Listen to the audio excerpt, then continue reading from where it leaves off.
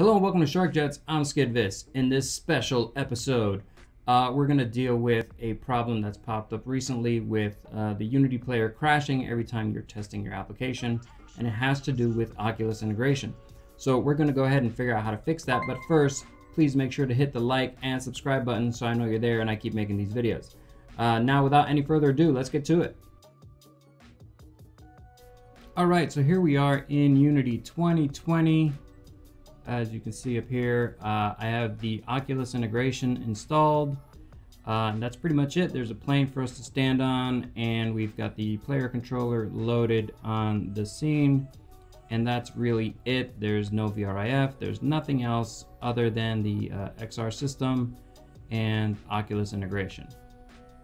So what we're doing here is we're just going to go ahead and test our project by hitting play. So here we are, we're inside, everything's working great, life is good.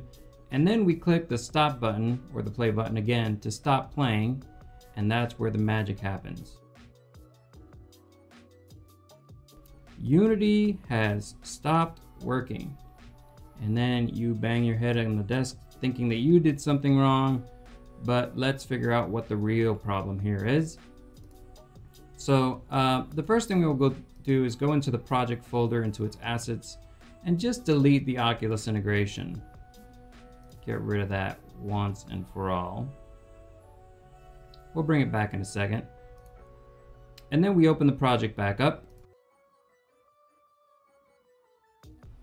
Okay, so immediately since we've deleted the Oculus integration, we've got some issues. The OVR player controller is missing. Uh, the texture I was using is also gone. But we're gonna go ahead and bring it in right now. We'll just go back into the package manager, uh, go to my assets and type in Oculus or something similar to Oculus. There we go. Now, as of this recording, we're on version 32 of the Oculus integration. Uh, maybe this is fixed in a newer version, but as of version 32, this is a headache. So we'll go ahead and import as usual.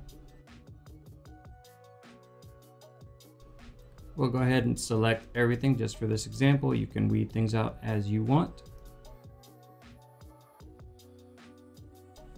Okay, now you're gonna get a series of pop-ups and this is where you gotta do the right thing to avoid these crashes.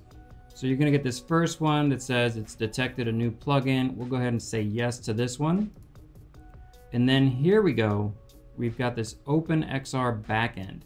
Now, OpenXR is a new method of uh, trying to standardize the VR system, the XR systems.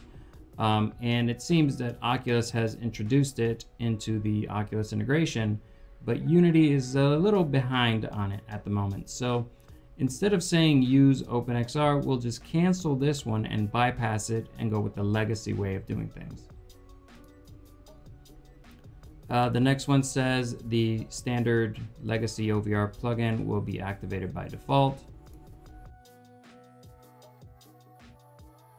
And then it says restart or not now. We'll go ahead and hit restart. Then it notices that the audio spatializer plugin was found, asks us if we want to update it. We'll go ahead and do that. Then it tells us the plugin was updated and asks us to restart again. Okay, so now we're back in the project. We can go ahead and hit play.